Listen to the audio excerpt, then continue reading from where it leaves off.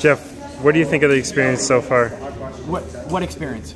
Uh, you're acting. You're going to be on camera. I am going to be on camera in uh, awesome. the uh, beginning of scene number two. Actually, um, I'm incredibly well hydrated because every time I have to drink, I just keep. Okay, it's whiskey. It's it's it's whiskey. You're drunk already, aren't you? I am. I've been drunk for probably since two o'clock. Cool. Yeah. What do you think of Lance directing so far? Lance is such a great guy. Seriously, uh, walking around, making sure everyone's taken care of, uh, the keys, everything around here. This is just a very well done production. High right? class. Very much. High class. Yeah. Cool. Thanks.